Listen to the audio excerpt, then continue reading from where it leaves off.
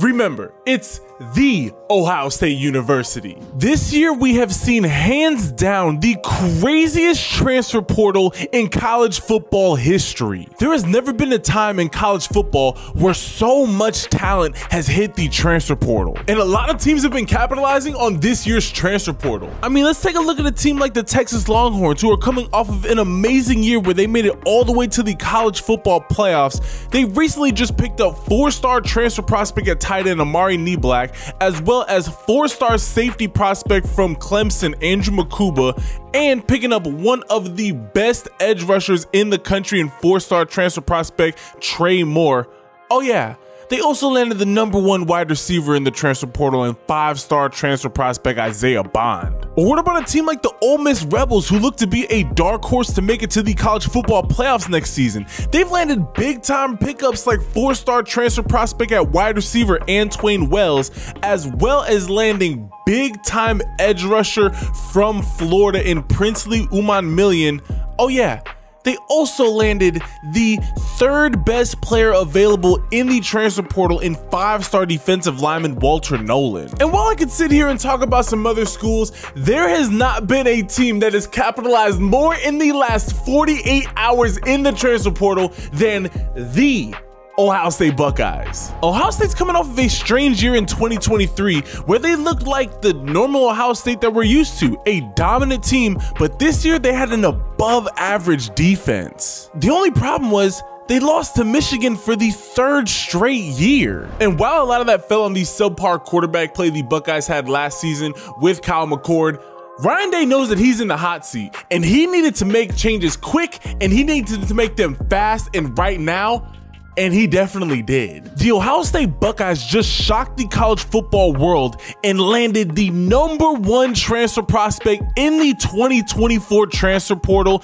in five star prospect Caleb Downs from Alabama. As soon as Caleb Downs hit the portal, he immediately became the most coveted player in the transfer portal. Now, everybody thought that he was a lock to go to Georgia, but Ohio State made that last second push and ended up landing one of the most impactful players in college football. Oh yeah, and it is highly rumored that the Ohio State Buckeyes are going to land the number one quarterback available in the transfer portal in five-star recruit Julian Sayin. Here's what one of the sources that is close to Julian Sayin said about his recruiting process now that he's in the transfer portal. I'd be shocked if he didn't end up at Ohio State. Sources have indicated that once it was learned Sayin was entering the portal portal, there was chatter that the Buckeyes were have interest. On the other side, we're told there is a great deal of interest in Ohio State from Sayin, especially with the fact that Bill O'Brien is coming over as the offensive coordinator.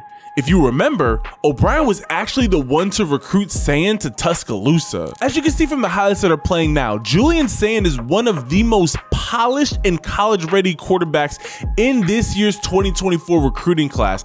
Julian Sayin knows where to put the ball. He has perfect timing effortless throwing motion and is one of the most promising quarterback prospects that we have seen coming out of high school in the past decade. The Buckeyes are also bringing over a dynamic duo at wide receiver in their second ranked 2024 recruiting class in five star wide receiver Mylan Graham and five star wide receiver in the number one prospect in the class of 2024, Jeremiah Smith. Oh, yeah, also don't forget the Buckeyes landed the number one running back in the portal in five-star RB from Ole Miss, Quinshon Judkins. Also, now having it solidified that TreVeyon Henderson is coming back for another year, you're going to be adding Will Howard as well as five-star quarterback Julian Sayin and you're also bringing in another five star quarterback in Air Noland. He's probably going to hit the transfer portal. Let's keep it a buck. You can't have that much talent on the team. But you have three guys that can immediately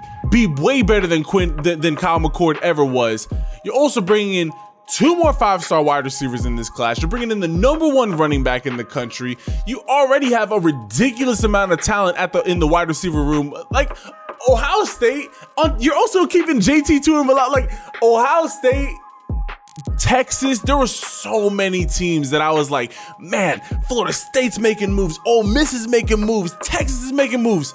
Ohio State was already there. The only the only road bump that they hit was Michigan. With the with them having a solid quarterback, and improving in all of the offensive weapon categories besides wide receiver. You're, you're going to be losing Marvin Harrison Jr. That, that that's a tough one to replace. But you're bringing in more five-star recruits that are just going to take his place, and Jeremiah Smith is looking like the replacement to Marvin Harrison Jr. I think that the Ohio State Buckeyes are going to be the team to beat next season. I know that Georgia's, they're bringing back a lot of guys. I know that Florida State, they added a whole lot of talent. With what Ryan Day, with how much pressure that Ryan Day is under, knowing he has to beat Michigan, knowing he needs to get back to the college football playoffs, they went out and did the recruiting. They went out there and brought in the pieces from the transfer portal. When they land Julian Sayin, having Julian Sayin and Will Howard there, I can see where Will Howard starts the season. And if he plays amazing, then you ride out the rest of the season with Will Howard.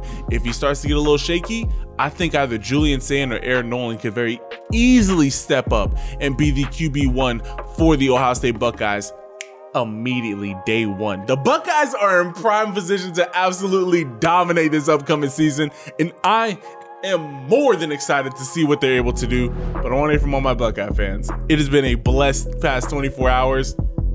You're bringing in the number one player in the portal in, in Caleb Downs, who's going to immediately improve that defense.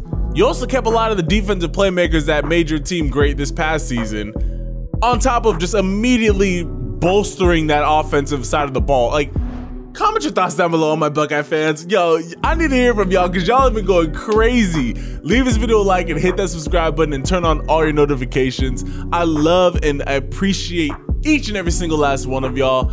Hey, I know that, you know, but let, us just let's just let's just switch up gears a little bit. Hey, if you're going through anything, know that you are not alone in this world. Know that you can always call upon Jesus Christ. I know that sometimes it doesn't feel like anybody cares. I know that sometimes it feels like you know you could just kind of go through life and just kind of you kind of feel invisible. Know that you are never invisible to Jesus Christ. He knows exactly who you are. He knows everything about you. He knows how you feel all the time. He's never left your side. All we have to do is just acknowledge that he's always been there all he wants to do is just pour out his love on, upon us. Always remember that. Always know that you have your best friend that you could ever ask for and your savior in Jesus Christ. And he is right there waiting to have a one just wanting to have a relationship with you. Always remember that. Love and appreciate all y'all. And I will catch you guys in the next video. Ciao.